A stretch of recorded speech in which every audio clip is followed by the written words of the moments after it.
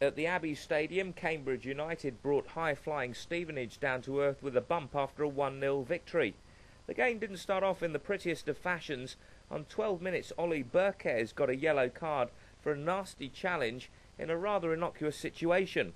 In stoppage time at the end of this match, Burkes was to receive a second yellow and eventually be sent off, Stevenage ending the game with just 10 men.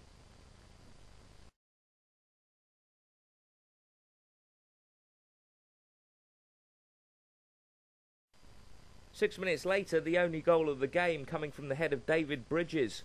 A fine run by him. He knew exactly where he wanted the cross to be put, and he flung his head at the ball to put Cambridge United into the lead. The U's 1 0 up.